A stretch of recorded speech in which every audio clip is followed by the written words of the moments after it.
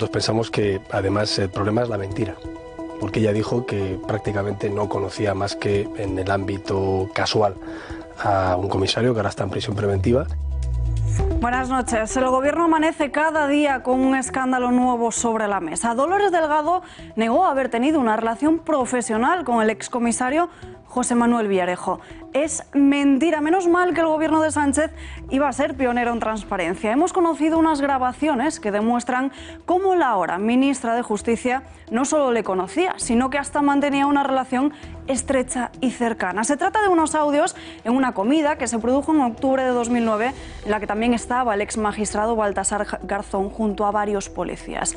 La relación es familiar y así se plasman cómo se refieren a ambos cariñosamente como Lola y Balta. Y atención porque esta información podría estar dosificada, es decir, que puede salir a la luz más noticias y datos que acorralen a la ministra y la obliguen a dimitir. Así pasó con Carmen Montón y sería ya el segundo caso en el que vemos a un miembro del gobierno que primero niega y luego recula. De momento, silencio en la Moncloa. Parece que no se toman en serio estas tormentas. Más noticias en nuestro sumario.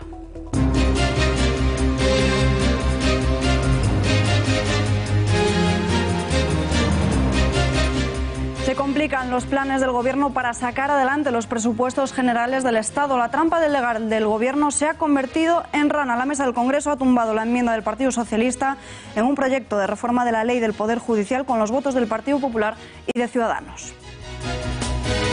Existía la referida conexión con el objeto de la iniciativa legislativa que se está tramitando en la Comisión de Justicia, ni era congruente con su objeto ni con su espíritu, ni con sus fines esenciales, tal y como exige la jurisprudencia del Tribunal Constitucional.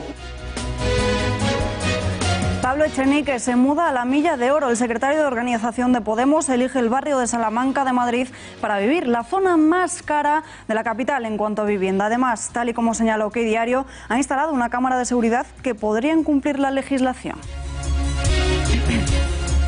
La juez de Madrid ha cargado contra la Fiscalía por su postura a favor del archivo de la causa respecto del presidente del Partido Popular, Pablo Casado. En una providencia notificada este mismo jueves, la magistrada Carmen Rodríguez Medel ha pedido literalmente a la Fiscalía que le ilustre.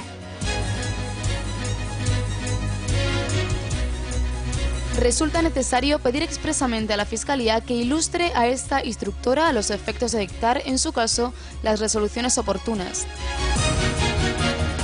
El primer permiso penitenciario para Iñaki Urdangarín podría ser a finales de 2019, incluso demorarse hasta principios de 2020. El secretario general de Instituciones Penitenciarias ha señalado que la situación del exduque de Palma es la habitual y también dice que goza del segundo grado, puesto que así lo establece el reglamento. Retiran las águilas del Pont del Agua. Es el puente que enlaza los municipios de Gerona y de Sarriá de Ter. Señalan que se trata de simbología eh, franquista y ni siquiera se van a conservar porque señalan que carece de valor artístico y patrimonial. En página de sucesos nos vamos hasta Galicia. Pasaban apenas unos minutos de las 9 de la mañana cuando un coche frenaba debido a la falta de visibilidad por el sol. Un autobús escolar aminoró la marcha, no lo hizo el automóvil de atrás que chocó contra este transporte escolar. En él iba una mujer y su hija de tres años que se encuentra hospitalizada grave en coma.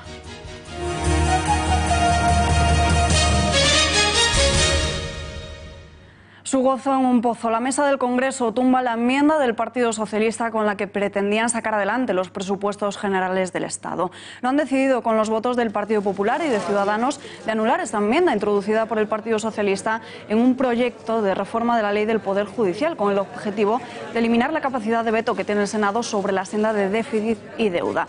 La decisión de la mesa se ha tomado en una reunión extraordinaria en la que se ha procedido a la votación. De esta forma, la maniobra eh, del Grupo Socialista para sortear el veto de la Cámara Alta al techo de gasto, que así el Gobierno ha quedado desactivada. Así lo ha anunciado la presidenta del Congreso, Ana Pastor, ha calificado de inédita la intención del Gobierno y ha explicado que la enmienda ha sido inadmitida porque no pueden tramitarse al mismo tiempo dos textos idénticos y por órganos diferentes de la Cámara. La mesa ha decidido admitir los recursos presentados por el Grupo Popular y el Grupo Ciudadanos, por lo que la enmienda presentada a la proposición de ley orgánica de reforma de la Ley Orgánica 6-1985 de 1 de julio del Poder Judicial sobre medidas urgentes en aplicación del Pacto de Estado en materia de violencia de género ha sido inadmitida. Que ni existía la referida conexión con el objeto de la iniciativa legislativa que se está tramitando en la Comisión de Justicia, ni era congruente con su objeto, ni con su espíritu, ni con sus fines esenciales, tal y como exige la jurisprudencia del Tribunal Constitucional. Génova 13 sugiere y reclama elecciones ya. El secretario general del PP, Teodoro García, califica al Ejecutivo de lastre e incluso le anima a que reflexione. Es convocar elecciones para que los españoles opinen si la moción de censura del señor Sánchez es una forma legítima de llegar al poder con aquellos que quieren romper España, para que los españoles opinen si el gobierno del señor Sánchez representa o no el sentir mayoritario de los españoles y para todo ello, para resolver estas dudas, lo mejor es preguntárselo directamente a los españoles. Tiempo ahora de analizar este varapalo al gobierno y para ello nos vamos hasta la redacción de la información.com. Tenemos conexión con el periodista Fernando Valls. Fernando, muy buenas noches. Hola, buenas noches. La mesa del Congreso tumba la enmienda del Partido Socialista, por tanto el Gobierno se queda sin sacar adelante la ley de estabilidad presupuestaria. ¿Qué va a tener que hacer ahora el Ejecutivo para conseguir aprobar cuanto antes las cuentas del Estado? Bueno, pues eh, le queda una opción que es recurrir al Tribunal Constitucional, pero eso prolongaría el proceso pues bastantes meses, incluso años. Se habla de ocho años para que decida el alto tribunal. Lo que le queda al gobierno ahora mismo es preparar eh, los próximos presupuestos con las cifras que heredó del gobierno de Rajoy, es decir, con esa senda de estabilidad que heredó, que, que aprobó el gobierno de Rajoy con Montoro a la cabeza y que rebaja el gasto, por ejemplo, en los 6.000 millones que pensaba incrementar el gobierno del PSOE. Por lo tanto, tendrá que, hacer tendrá que trabajar sobre las cifras que tanto ha criticado en el pasado. Fuentes del Partido Socialista avisan de que van a valorar tomar las acciones oportunas en vista de este bloqueo en la mesa del Congreso. ¿Podría el Gobierno, como castigo, reprobar a Ana Pastor? Bueno, sí podría reprobarla, sería algo histórico porque nunca antes se ha reprobado en el Congreso a un presidente de la Cámara, pero la reprobación es un mero acto que no implica ninguna consecuencia. De hecho, el anterior gabinete de Rajoy, casi medio Consejo de Ministros estaba reprobado y ninguno dimitió por ello. Pues las consecuencias de que puede tener esto, pues bueno, el PSOE ahora también puede recurrir al Constitucional y ya como, como te digo, como os digo, le queda, le queda un largo camino para resolver. Yo creo que ya el Gobierno tiene poco que hacer y tendrá que trabajar sobre las cifras que heredó. Ya el Gobierno nos dice que presupuestos va a haber sí o sí, pero con esas cifras rebajadas.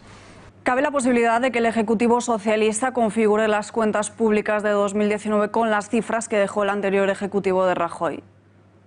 Sí, en efecto, es el escenario que están manejando. Eso implica 6.000 millones de gasto menos y eso implica pues que algunas partidas en impuestos que se estaban negociando pues a lo mejor se van a tener que rebajar porque claro, ya no hay que sacar tanto dinero, ya no hay que intentar conseguir tantos ingresos. Entonces algunos impuestos que se anunciaron pues a lo mejor quedan en suspenso o se meten en la nevera. Eso yo creo que es una buena noticia incluso para los españoles a los que no nos van a poner más impuestos.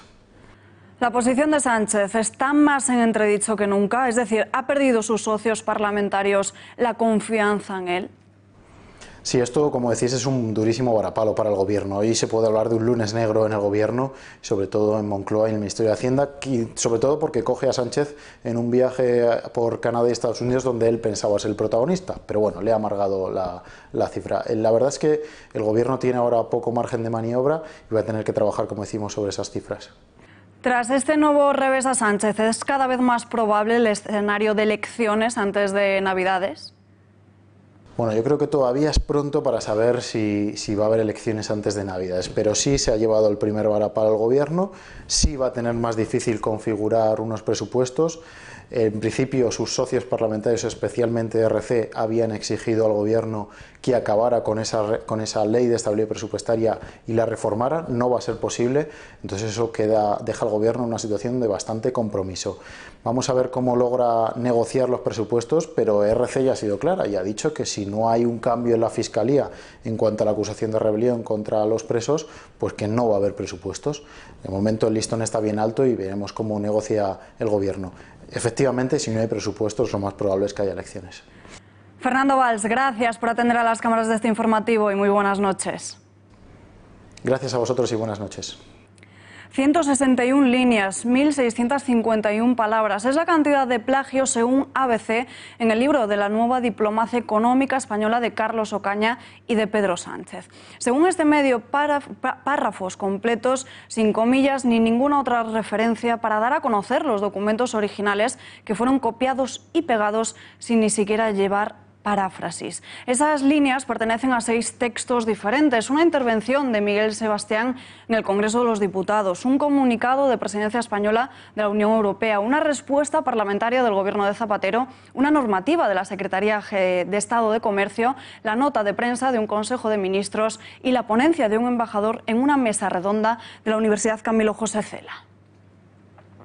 Continúan las peticiones de explicaciones. En el PP animan y exigen que Pedro Sánchez convoque una rueda de prensa para explicar el presunto plagio del libro que recoge su tesis. Creo que el señor Sánchez debería, primero, convocar a toda la prensa, encerrarse con su documento, dar explicaciones de todo cuanto se ha publicado, en vez de enviar burofax. Yo creo que ya eh, esto está en la mente de todos no se puede estar cancelando ruedas de prensa continuamente y no se puede estar eh, dejando a oscuras a los ciudadanos ante un asunto tan grave como este. El Tribunal Supremo va a archivar el caso máster de Pablo Casado y es que consideran, al igual que ha defendido la Fiscalía, que no hubo maño alguno entre el presidente del PP y la Universidad Rey Juan Carlos. El viernes ya conocíamos cómo la Fiscalía rechazaba la investigación a Casado y también solicitaban al alto tribunal la exposición de la juez Carmen Rodríguez Medel, que le atribuía presuntos delitos de cohecho y prevaricación. Un informe que no ha sentado del todo bien a la magistrada. Para Rodríguez Medel es necesario que la Fiscalía la ilustre a los efectos de dictar, en su caso, las resoluciones oportunas. Resulta necesario pedir expresamente a la Fiscalía que ilustre a esta instructora a los efectos de dictar, en su caso, las resoluciones oportunas. Por si con el informe del excelentísimo teniente fiscal del Tribunal Supremo, señor Navaja, se está ordenando un cambio de interpretación. De avión en avión y vuelo porque me toca. El presidente del gobierno está sacando más partido al helipuerto que tiene el complejo de la Moncloa y está usando con frecuencia los helicópteros Super Puma del Escuadrón del Ejército del Aire destinados al traslado de importantes personalidades del Ejecutivo. Lo hizo hace unas semanas para ir a un concierto en Benicassim y también el 30 de junio para ir a la boda de su cuñado. Lo desvela en exclusiva hoy el Confidencial y señala como el líder del Ejecutivo voló desde la Moncloa hasta la base aérea de Argoncillo, a 57 kilómetros de Aldea Nueva de Cameros, que era el destino final de su viaje, para luego recorrer en coche la última parte del trayecto. En la bancada del Gobierno argumentan que sus desplazamientos se valoran por criterios operativos y de seguridad. Prohibición, a los indultos, eh, prohibición de indultos a los condenados por sedición y rebelión. El Partido Popular ha registrado una proposición de ley para eliminarlos. Inmediata respuesta popular y es que esta propuesta de prohibición llega después de escuchar a la delegada del Gobierno en Cataluña, Teresa Cunillera. Esta se mostraba partidaria del indulto en caso de que los golpistas separatistas sean condenados por el Tribunal Supremo por el procés. Eh, Teresa Conillera seria partidària de concedir indults? Però és que per concedir un indult hi ha d'haver una sentència ferma i hi ha d'haver una petició també igual de ferma del, del que accepta la sentència. Però això ho veurem d'aquí uns mesos. Bé, si, si, si es demana l'indult, jo sóc partidària, clar. Uh -huh. Però l'han de demanar, eh? Política de gestos a la Generalitat, o mejor dicho, al separatismo. Nuestro presidente del Gobierno avanza un diálogo político con el Gobierno. Quebec es el territorio perteneciente a Canadá que Pedro Sánchez, atención, pone de ejemplo para Cataluña. La lección que hay que sacar de, de Quebec y de Canadá es que desde la política se pueden encontrar soluciones políticas a crisis políticas. Cada país debe encontrar su camino para resolver esos conflictos políticos.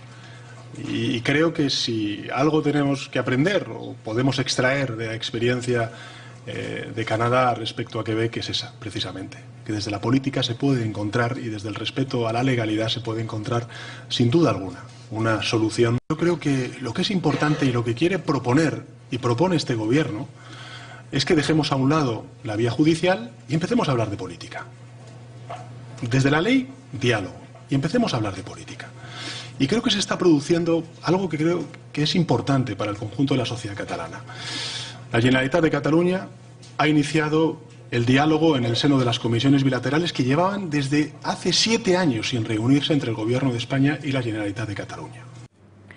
En las filas del Partido Popular señalan que no se puede dialogar con aquellos que tienen una pistola encima de la mesa, refiriéndose a los golpistas que se saltan la ley. Al mismo tiempo reclaman volver al artículo 155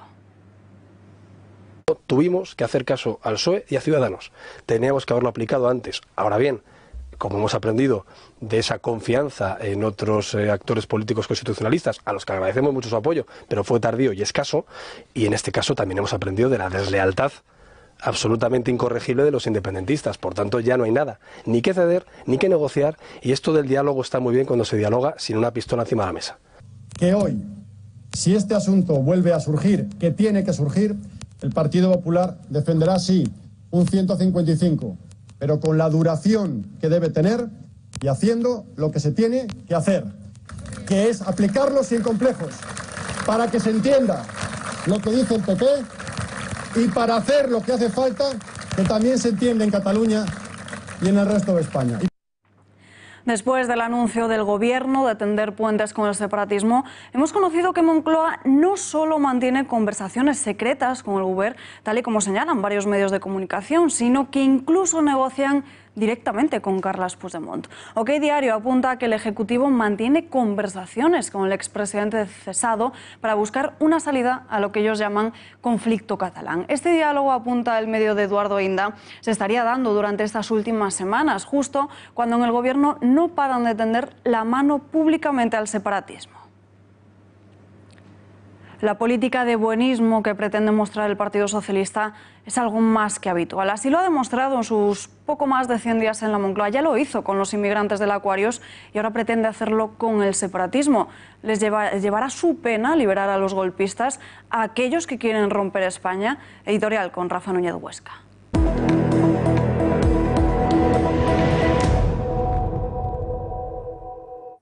El gobierno va a liberar a los golpistas encarcelados y no lo hará por pactos secretos con sus aliados, o al menos no solo por eso. Lo hará porque en tanto que izquierdistas están embriagados de sentimentalismo, su complejo de superioridad moral les obliga a implicarse en causas que consideran humanitarias. Poco importa que se trate de altos dirigentes políticos acusados de haber quebrado el Estado de Derecho y de haber roto la sociedad catalana. Primero Borrell, luego Batet, luego Cunillera, Calvo y ahora Sánchez muestran su empatía con una situación que consideran injusta. En ellos ya no opera su condición racional de hombres y mujeres de Estado.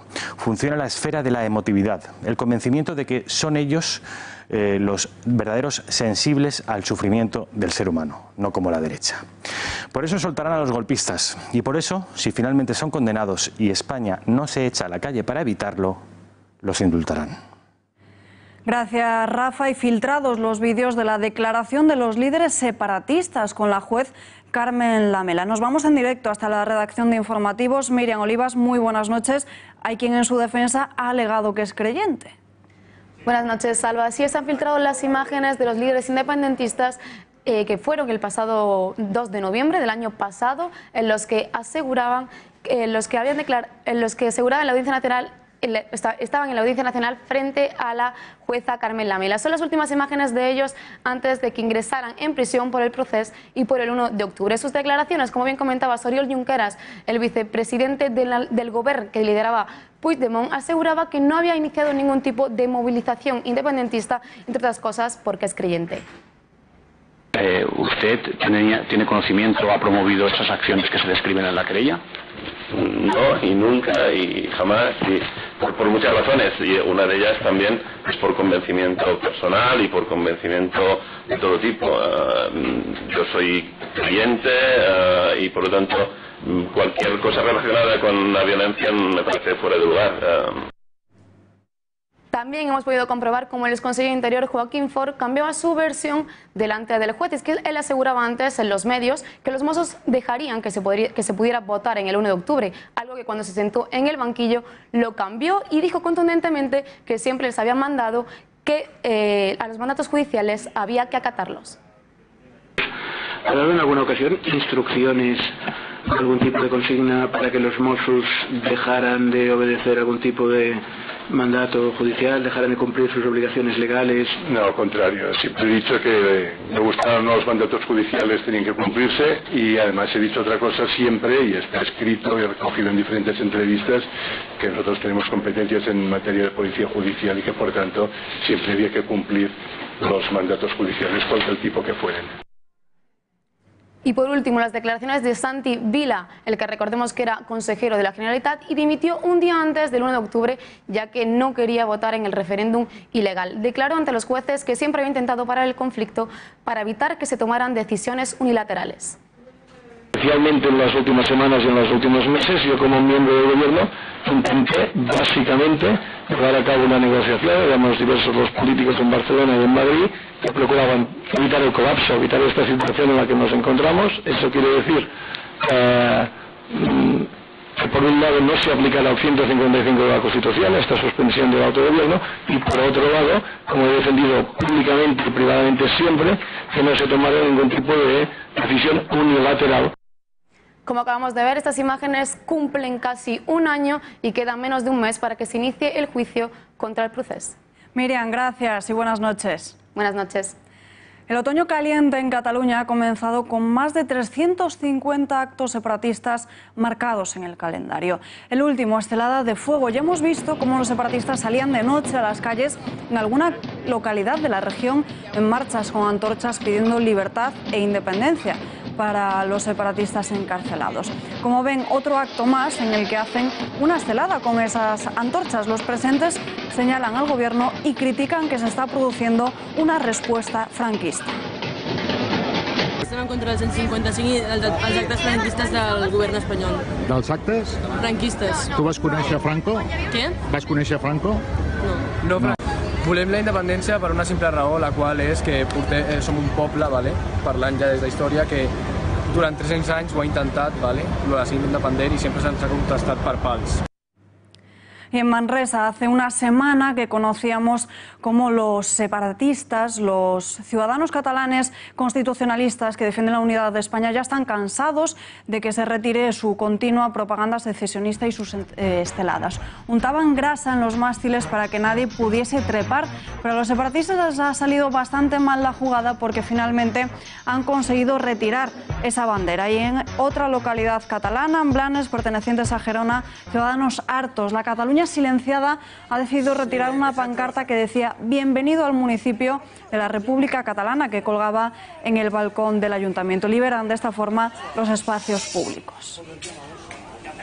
Y de Cataluña nos vamos hasta Oviedo porque lo que estamos viendo es que el efecto contagio comienza a surgir. La semana pasada les enseñábamos cómo un joven intentaba retirar, quemar y luego la tiraba y pisoteaba una bandera de España que estaba en, eh, en un balcón de la calle del Rosell. Por las redes sociales ha corrido como la pólvora este vídeo, incluso muchos jóvenes se manifestaban en contra, pero a este grupo se le han sumado otros contrarios y se han enfrentado al grito de fachas. Tal era la tensión que los manifestantes tuvieron que huir corriendo del lugar. El que tiene culo tiene miedo. Mañana sabremos cómo y con quién se va a presentar Manuel Valls a la alcaldía de Barcelona. El conseller de Asuntos Exteriores de la Generalitat, Ernest Maragall, ha valorado esta posible candidatura y asegura que no la entiende. Vamos a escuchar esas palabras de Maragall. No acaba de ver cuál es el, valor añadido de una candidatura como la de Valls, que es tan, en ese momento, es tan externa, es tan eh, ajena, digamos, y, por lo que parece además tan conducida desde, desde otros, desde otros postulados y desde otros lares geográficos, digamos. ¿no? Es una campaña para Barcelona llevada desde Madrid, digamos. ¿no? Primer paso de peatones en diagonal en España. Será en Madrid, concretamente en el cruce entre las calles Gran Vía, de los Reyes y Princesa, en la Plaza de España. En 2019, los madrileños y diferentes turistas podrán cruzar la calle a través de este gran paso de cebra, pionero en nuestro país. Da la posibilidad de transitar de forma simultánea en todas las direcciones e incluso en diagonal. Así lo ha informado el ayuntamiento y las obras van a comenzar en la primavera de 2019, una vez que se haya adjudicado el proyecto de remodelación. La primera fase será la remodelación, como decimos, de todo el frente de la calle Princesa y la peatonalización de la calle que baja hacia Bailén. Otro tarifazo sube la luz y también el gas. El agua caliente y la calefacción van a salir mucho más caras en los próximos meses. A partir del 1 de octubre, el precio medio de una bombona de butano va a incrementarse un 4,95% hasta los 14,61 euros, casi un euro más del coste actual, segunda subida consecutiva en lo que vaya de año. Ya sufrió un repunte en el pasado mes de julio y este, precio, este aumento en el precio se debe principalmente al incremento de la cotización de las materias primas internacionales y los fletes durante el periodo de cálculo. Así, el nuevo precio del butano pasará de ser de 95 céntimos de euro por kilogramo, según una resolución publicada en el Boletín Oficial del Estado.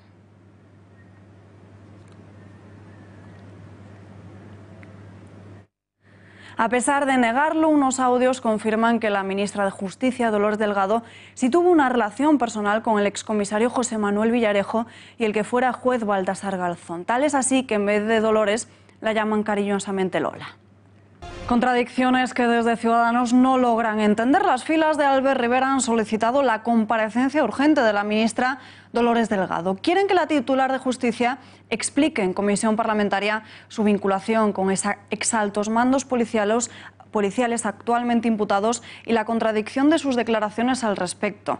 La portavoz de la Ejecutiva Nacional de Ciudadanos, Inés Arrimadas, ha afirmado en rueda de prensa que este asunto es totalmente relevante y que parece que la ministra no ha dicho toda la verdad, ya que sus declaraciones no cuadran con las grabaciones que se han conocido hoy. Y el Partido Popular tiene la intención de impulsar la reprobación de la ministra de Justicia y de pedir su dimisión después de trascender esas grabaciones del almuerzo entre esta, entre Garzón y el excomisario. El líder del PP, Pablo Casado, ha insistido en que Delgado va a ser reprobada. Reprobación que se une a la enésima petición de dimisión por parte del Partido Popular. Casado reprocha además a Delgado que dejó a la jurisdicción española completamente vendida ante las agresiones de una demanda por parte de Puigdemont ante un juez del Supremo desde Bélgica. Y añade que estas grabaciones demuestran que es una mentira. Tras las últimas informaciones sobre la ministra de Justicia, desde el Partido Popular creemos que ahora más que nunca España no merece un gobierno que mienta, que le mienta a los españoles. Creo que es momento de pedirle al Gobierno que respete a los españoles, que respete a los ciudadanos y la mejor forma de respetar a los ciudadanos es darles la voz. Señor Sánchez reflexione y piense si puede seguir llevando a un país en el que los ministros se caen conforme pasan los meses, en el que su credibilidad se cae a trozos y en el que se ha convertido ya en un lastre para España, que es el presidente junto con todos sus ministros, que la ministra de Justicia siga siendo hoy ministra de Justicia era una vergüenza para Pedro Sánchez y para el Partido Socialista, pero hoy es ya insostenible para eh, el devenir diario de los españoles. Bueno, la ministra de Justicia va a ser reprobada a instancias del Partido Popular por las Cortes Generales y nosotros en verano ya pedimos su dimisión por una cosa gravísima que es que había dejado a la jurisdicción española completamente vendida ante las agresiones de una demanda contra un juez del Supremo por parte de Puigdemont desde Bélgica. Nosotros pensamos que además el problema es la mentira, porque ella dijo que prácticamente no conocía más que en el ámbito casual a un comisario que ahora está en prisión preventiva. Tiempo ahora de analizar el enésimo escándalo del gobierno socialista y para ello tenemos conexión en directo con el analista político Asís Timmermans. Señor Timmermans, muy buenas noches. Muy buenas noches, ¿qué tal? Delgado lo negaba y estas grabaciones demuestran que la ministra sí tuvo algún tipo de relación con el excomisario. Es más que evidente que ha mentido. Veremos durante esta semana la caída de la titular de justicia. Es posible, eh, están evaluándolo seguramente en Moncloa. Hoy han llamado a Adriana Lastra para evitar que haga declaraciones sin pensar, porque no es precisamente un genio haciéndolas. Eh, pero efectivamente lo más importante en, primer lugar es que la ministra ha mentido, ha mentido claramente. Y en segundo lugar es que las conexiones de la ministra con el juez prevaricador, expulsado de la carrera judicial eh, y con muy oscuras conexiones, eh, Baltasar Garzón, era, era conocida. Entonces se estaba permitiendo que se instalara, digamos, ese sindicato de, de influencias de muy, oscuro, eh, de muy oscuros tintes. Y, bueno, y la ministra ha querido ocultar su relación al parecer bastante más intensa que el mero desconocimiento, pues con Villarejo, que está en la cárcel, que es seguramente quien ha filtrado estas conversaciones y que desvelan muchas cosas y todas ellas incompatibles con el puesto de una ministra de Justicia, sin ninguna duda. Ha mentido y se debe ir. Se va a ir esta semana, eh, debería irse, depende de las nuevas informaciones que salgan, que no, no me cabe duda de que van a salir más informaciones. ¿Va a tener que situar el listón más bajo Sánchez, tal y como piden desde el Partido Popular? sé dónde está el listón. Yo creo que más bien se trata de la conveniencia del presidente porque eh, la ministra Montón dimitió por cosas mucho menos graves que las que ya le han demostrado a Sánchez, que además mintió en sede parlamentaria, cosa que está ya absolutamente eh, demostrado. Entonces, eh, lo que va a tener que hacer Sánchez es explicar por qué ha hecho una cosa que parecía verdaderamente imposible, que es elegir ministros con todavía peor eh, currículum y peor eh, hoja de servicios que la suya propia. El Partido Socialista ha cancelado su última comparecencia después de salir a la luz estas grabaciones. Esconderse y no dar explicaciones es la tónica habitual del Ejecutivo, pero no era este el gobierno de la transparencia. No, es el gobierno del marketing. Eh, y en realidad eh, todo se trata de proteger la imagen del presidente, que si nos damos cuenta no solo ha evitado la prensa, eh, más que ningún otro, sino que, sino que en fin, ha, evitado explicaciones cuando era obligado eh, hacerlas. Incluso hay una rueda de prensa muy reciente, se ha excluido a dos medios, en este caso a, a Diario y ABC, exclusivamente porque, han, eh, porque han, se han, han, osado informar sobre, sobre el plagio o la falsa tesis del presidente.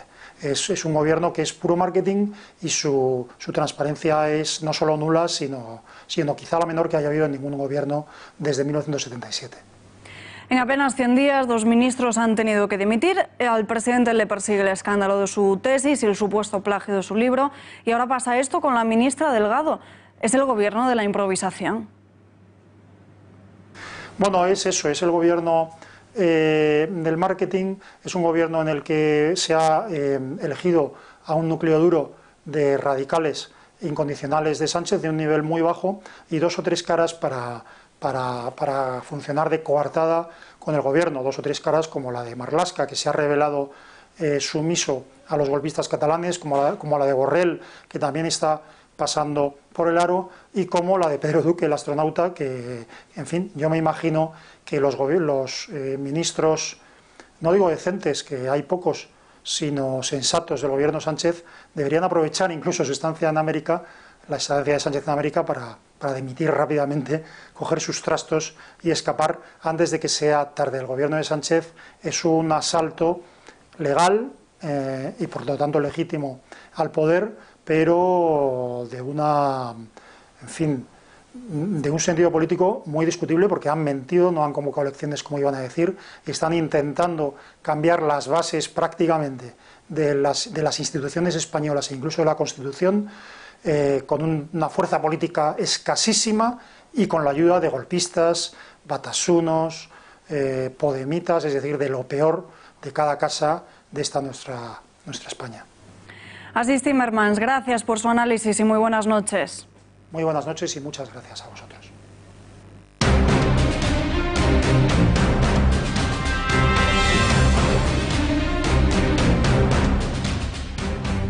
Y abrimos nuestra habitual sección del Mundo en Guerra y para ello saludamos ya al militar en excedencia, analista en seguridad y defensa, Bruno Navarro.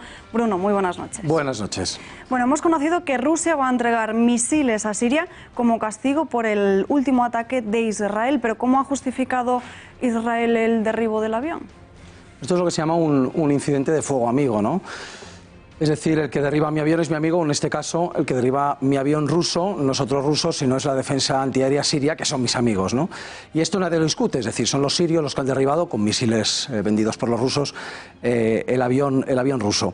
Israel ah, dice que atacaron a, objetivos de Hezbollah en Siria, con lo cual los rusos no tienen nada que decir, porque hay un pacto en el que se permite eh, esta acción y que avisaron a los rusos antes de proceder al ataque, como está reglamentado entre ellos y está acordado que hay que avisar con tiempo para que los rusos puedan salir de ese área tanto y cuidar de sus tropas en tierra como eliminar, eh, sacar a los aviones de, de allí, ¿no?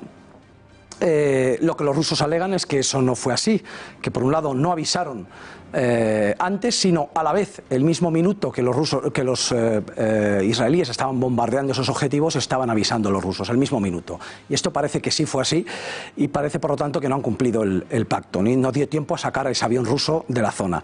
Y la segunda parte, que actualmente los israelíes lo, lo, niegan y es difícil de saber si es así o no, los rusos alegan que esos cuatro aviones israelíes eh, una vez ya eran atacados por, los eh, misiles eh, sirios, se escudaron en el avión, en el grande y pesado avión de inteligencia electrónica ruso, para eh, que, por un lado, pensando que los sirios no iban, a, lanzar misiles habiendo un avión ruso en la zona, un avión amigo, y que, por otra parte, les serviría de escudo porque eh, podría atraer el fuego de esa, de esa batería eh, en, vez de, en vez de sus aviones, ¿no? como al final así sucedió. ¿Quién miente? Es difícil decir, pero al final quien ha puesto los muertos eh, son los rusos y tiene toda la verosimilitud eh, lo que están diciendo. Por lo tanto, bueno, no me aventuraría a decir nada, pero tiene, tiene más, más pinta de ser lo que dicen los rusos, que tienen razón y por lo tanto las consecuencias que se están sacando de esto, la venta de esos nuevos sistemas que van a vender a los sirios más avanzados, pues tendría toda la lógica del mundo después de haber perdido un gran avión y 15 hombres. ¿Cuál es ahora mismo la situación en Siria? ¿Podría reavivarse la guerra? Bueno, reavivarse yo creo que, que, que, no. Evidentemente esto es una escalada, hay una escalada, pero es una escalada localizada entre dos potencias eh, ajenas al conflicto, si podemos decirlo. Son Rusia e Israel. Y esto evidentemente va a sufrir, eh, es decir, no va a reavivar el conflicto en sí, el conflicto sigue con sus más y sus menos eh, en tierra, por así decirlo, sigue exactamente igual, pero esto lo que hace es eh, complicar muchísimo, por la respuesta rusa, complicar muchísimo la acción israelí sobre Siria, que es una acción que lleva eh, años produciéndose desde el inicio de la guerra, incluso desde antes, y ahora los israelíes lo van a tener mucho más difícil porque los rusos pues, van a poner muchos más medios en manos de los, de los sirios. Entonces, ¿hasta qué punto es responsable Israel de todo lo que está sucediendo en Siria? Bueno, yo no diría que, Israel es responsable de todo lo que pasa en, en, en Oriente Medio, ¿no? Eh, y, y, de, eh, y, de, esta guerra tampoco, ¿no? Eh, al final es una guerra mm, civil con muchas connotaciones regionales y mundiales en las que todo el mundo está implicado. Y los israelíes tienen su, parte de responsabilidad, ¿no? Porque a fin de cuentas Israel ha sido muy beneficiado por esta guerra que ha mantenido durante todos estos años alejados los peligros de sus archienemigos, que son eh, Irán, eh, Siria, Hezbollah, que recordamos que es el, grupo terrorista eh, principal de, Líbano y que tiene como su enemigo principal a, Israel, y a todo tipo de yihadismos suníes, Estado Islámico, Al-Qaeda, etcétera, que pululan por la, por la región. Es decir, como se estaban pegando entre ellos en las guerras de Siria e Irak, no han puesto sus ojos, nadie ha puesto sus ojos en, en Israel. Y esto Israel lo agradecía enormemente y no solamente lo agradecía, sino que es acusada frecuentemente de haber ayudado, impulsado, financiado y protegido eh, a muchos grupos terroristas que, eh, yihadistas que han ido eh, combatiendo en, en, Siria. Es muy fácil que lo haya hecho, muy probable, porque nosotros mismos, Occidente, lo hemos hecho de forma pública y notoria, apoyando durante años, eh, ahora en menor medida, pero durante, durante la peor etapa de, de la guerra hemos estado apoyando a grupos yihadistas sin ningún pudor ni, rubor. ¿no? Lo que hay realmente ahora mismo, la política de, Israel en todo este, todo todo este embrollo en el que, como digo, se sienten seguros porque todos están pegando, hay una parte que no le gusta nada y es que al haber guerra en Siria, Irán y Hezbollah han puesto muchas tropas en Siria y como son sus archenemigos están cerca de la frontera. Para esto llega un acuerdo con Putin. Fíjate, Putin, Rusia, que ayuda a los sirios, sí, pero Israel le puso, eh, digamos que llegaron a un acuerdo. Un acuerdo por el que Israel podía bombardear a gusto cualquier objetivo iraní o de Hezbollah, no de Siria, no del ejército sirio, pero cualquier objetivo de estos eh, iraníes o Hezbollah en territorio sirio. Previamente, habiendo avisado con tiempo a los rusos, y que solo fueran este tipo de objetivos. Además, los rusos se comprometían a alejar a las fuerzas chiíes eh, extranjeras, por decirlo, de Hezbollah y de Irán, les tenía que alejar, mantener alejados, presionar a Bashar al-Assad para que estén alejados de la frontera con Israel para evitar un posible ataque o invasión. Y también congeló Rusia aceptó congelar la entrega que iba a ser inmediata en 2015 de los misiles S-300. Esos misiles que hoy están, van a llegar en dos semanas, ya los compró Siria de forma normal a los rusos hace tres años. Y sin embargo, Israel consiguió que se congelara no la venta, sino la entrega. Ahora los rusos han dicho, bueno, después de lo que nos habéis hecho, esa venta, desde luego, ya no se congela y vamos a proceder a, entregarla. Pero como vemos, la intervención israelí sobre todo es de que se maten y si puedo ayudar mejor para protegerme yo, que nadie me ataque, y por otro lado, de evitar cualquier tipo de crecimiento de eh, Irán y Hezbollah en eh, la región. ¿Podría Damasco desplegar un escudo antimisiles?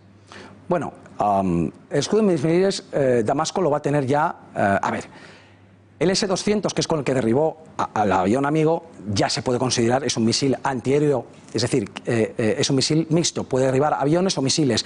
Ya lo es, pero era, un misil de los años 60 y bueno, ahora va a tener el S-300, que es mucho más moderno, es de los años 70, pero ha sido muchas veces modernizado y es muy bueno. Luego está el S-400, que lo tienen allí, pero los rusos no lo, no lo están vendiendo, y es de 2007. Bueno, el, hablando de los S-300, con esos, con esos misiles sí que podemos considerar que ya tiene o va a tener un escudo antimisiles digno de comenzar a poder llamarse con ese nombre. Porque además le va a dotar de sistemas de control muy modernos, es decir, el misil está muy bien, pero tú tienes que tirarlo a algún sitio, tienes que ver a dónde. Y el cielo tú miras y no ves nada. Son los radares, son los sistemas de control los que te van a permitir decir aquí hay un avión y es un avión malo, es un avión hostil.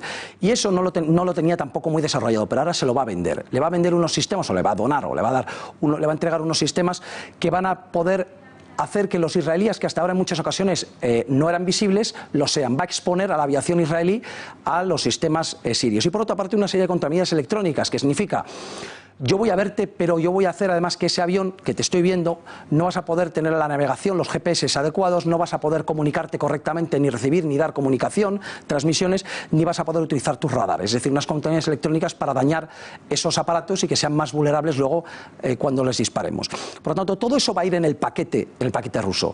¿Hasta qué punto será muy, muy efectivo? Dependerá del número de misiles, porque aún no sabemos cuántos misiles les va a entregar realmente. Si son pocos, pues bueno, y si son muchos, hablaremos de otra cosa. Y tampoco sabemos, eh, y esto es muy importante, la calidad de los operadores que día a día estén operando esos sistemas tienen que ser muy buenos y operar en muy poco espacio de tiempo, con mucha rapidez, eh, como digo, eh, para vencer esas amenazas. ¿no? Luego, la formación y el número de, esos misiles será lo que nos haga decir dentro de un mes, dos meses, tres meses, si realmente hay un escudo efectivo. Tras siete años de conflicto en Siria, ¿cómo es ahora mismo el mapa? Es decir, ¿controla el presidente Al-Assad todo el territorio? Bueno, eh, el mapa, el mapa de, de, Siria ahora es bastante menos complejo eh, que, hace, yo creo que lo estamos viendo en pantalla, y es menos complejo que hace, unas, eh, que hace unos meses. ¿no? Vemos la parte roja, la parte roja es la zona que controla ya Bashar al-Assad, eh, que controla el gobierno de Siria, es mejor no hablar de Assad, porque en el fondo es el presidente de un país, el país se llama Siria. ¿no? Siria controla la parte roja, hemos visto que ha limpiado, por lo tanto, infinidad, docenas de bolsas yihadistas, ha ido eliminándolas. ¿no? le queda, como vemos, un par de manchas negras al sur, una manchita negra al sur y otra al este del país más grande, esos son el Estado Islámico. Le quedan esas dos bolsas eh, para que bueno, las irá limpiando poco a poco, pero ahora se está centrando en otra parte. Y luego vemos una gran bolsa verde abajo, eh, verde claro. Esa es una bolsa de yihadistas, pero que están apoyados, yihadistas digamos más moderados, pero también que están apoyados por la coalición internacional, por Estados Unidos y por lo tanto eh, Assad ahora mismo no puede atacar, no puede invadir esa, esa zona de su propio territorio porque Estados Unidos se le pondría en contra. Vemos la gran mancha amarilla que son los kurdos kurdos más algunas eh, tribus eh, árabes suníes y eh, que están combatiendo en las SDF, las Fuerzas Democráticas Sirias, que básicamente son lo que conocemos con los kurdos, apoyados también por la coalición internacional. ¿Qué significa esto? Pues que tampoco Assad puede avanzar hacia el norte porque estos de color amarillo, estos, estos kurdos apoyados por Occidente, pues Occidente no va a permitir, eh, Estados Unidos fundamentalmente no va a permitir ningún ataque. Luego tampoco puede ir por allí. ¿Y qué nos queda al norte? Al norte, aunque no se aprecia realmente el color, la parte, la mancha negra más al norte de- del, del- todo, es donde están, donde ha invadido Turquía. Turquía ha invadido el norte de, de Siria, alegando defensa frente a los terroristas kurdos, y el caso es que tiene controlado ese norte del país. Y luego, lo que hay un poco más abajo de ese, de esa- de ese norte, que parece unido pero no lo está, es una gran bolsa yihadista, la famosa bolsa de Idlib, donde es verdad que Assad podría atacarla, pero hay una pega está protegida por los turcos. Es decir, los turcos dan protección a esa bolsa yihadista y ahora mismo se ha llegado a un pacto. Es decir, ahora mismo ninguna de las tres fuerzas principales, ¿de acuerdo? Ni los turcos en el norte, ni los kurdos en el este, ni el gobierno sirio en el resto del país han llegado a sus máximos, prácticamente a sus máximos límites de expansión y avanzar en un sentido o en otro significaría chocar con grandes potencias extranjeras, porque Siria está apoyada por Rusia, luego probablemente tengamos una época un poco, un poco de, de- de calma en el, en el futuro inmediato. Pues Bruno Navarro, muchísimas gracias por estar aquí con nosotros. Buenas noches. Buenas noches. En página internacional ha sido uno de los momentos de los que más se ha hablado durante este fin de semana. Presten muchísima atención a cómo el secretario de Organización de los Estados Americanos aconseja al expresidente español Zapatero. Unas palabras por las que el Ministerio de Asuntos Exteriores va a presentar una protesta formal. El señor eh, Zapatero ha estado luchando a favor de la dictadura venezolana en el año 2016, 2017, 2018. Yo he estado luchando en contra de la dictadura venezolana todo este tiempo. Por otra parte, me extraña que el señor Zapatero no haga referencia a mis aclaraciones anteriores. Usted sabe que estoy midiendo grados de invisibilidad que tienen que ver con cuántas aclaraciones necesita la gente para entender lo que dije. Y nosotros nos despedimos ya, pero volvemos mañana a las ocho y media con más información. Mientras tanto, no- el mejor análisis de la actualidad en El Gato al Agua. Hasta mañana, que tengan una buena noche.